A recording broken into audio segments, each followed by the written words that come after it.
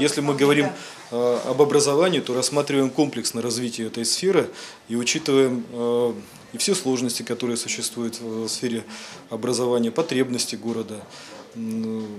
Определяем финансовые источники, необходимые для решения и проблем, и реализации возможностей, изменения профиля образования, оценка потребностей предприятий, прежде всего промышленных предприятий, э, в качественной подготовке специалистов. Э, задача сформировать стратегию до 2022 года с э, правильной оценкой ресурсов, необходимых для развития сферы образования с четким построением приоритетов, этапности реализации программ.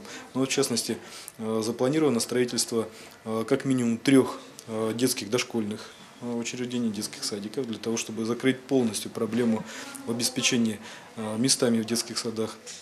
Открытие дополнительных групп на базе уже существующих детских садов, организация различных форм э, коммерческого направления для детской занятости.